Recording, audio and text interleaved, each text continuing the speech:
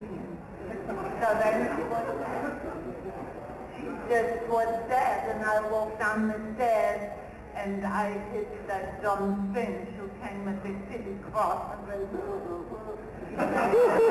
what do you think your city cross will do to me? And I beat him and I pushed him, and then the vase, the, the vase fell over. And that was the end of me because I just faded out of the room.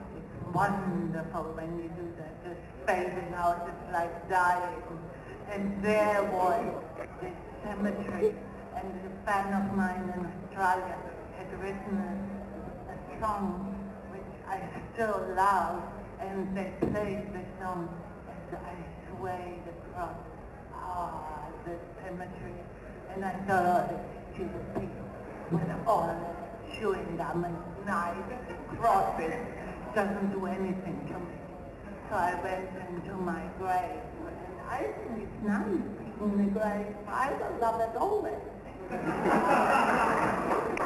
problem is I had a stroke, and I can't remember anything other than